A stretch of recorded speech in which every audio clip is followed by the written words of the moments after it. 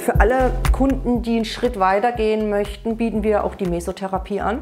Die Mesotherapie injiziert in Minidosen Wirkstoffe in die Dermis, in die richtige Hautschicht. Dort können sie sich ihre Wirkung entfalten.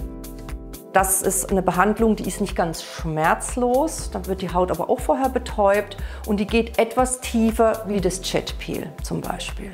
Ich kann verschiedene Wirkstoffe aufziehen, je nach Hautzustand, ob jemand Pigmentflecken hat oder eine Schwäche der Elastizität, ob er Flecken im Gesicht hat, also ob er Rötungen im Gesicht hat. Ich kann sogar Wirkstoffe einsetzen, die das Gesicht etwas schmaler machen.